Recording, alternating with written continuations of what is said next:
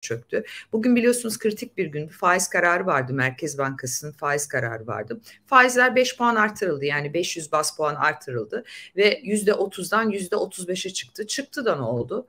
Kimsenin umuru bile olmadı.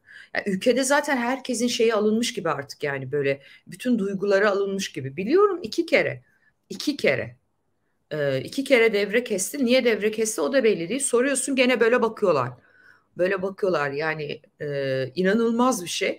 Ve Murat en güzelini yazdı zaten. Mehmet Şimşek dünya turunu ara versin dedi. Bugün de yazmış. Merkez Bankası 500 bas puan faiz artırdı.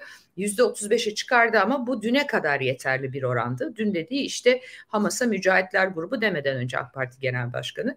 Ne kadar kabadayılık o kadar faiz. Bunu hesaplamadınız mı?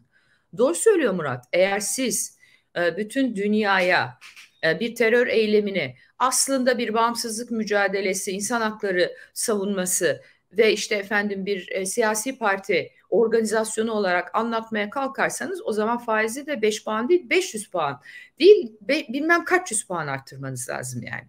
Hiçbir şey olmadı. Ne kadar kabadayılık o kadar faiz. Hakan Kara eski Merkez Bankası ekonomisti Bugünkü toplantı çok kritikti. Merkez Bankası net bir iletişimle doğru bir karar aldı. Emeği geçenleri kutluyorum demiş.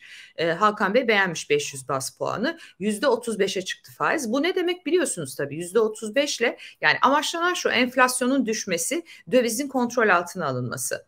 Enflasyon düşmüyor arkadaşlar ve bu sene sonunda da düşmeyecek. Zaten nedenini biliyorsunuz Mahfi Hoca da yazmış. Bakalım ne yazmış Doktor Mahfi Eğilmez?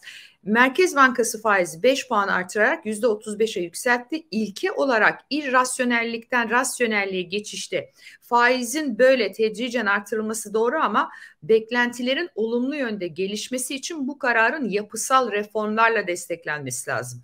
Türkçesi meali adalet lazım adalet. Yargıya güven lazım. Anayasa Mahkemesi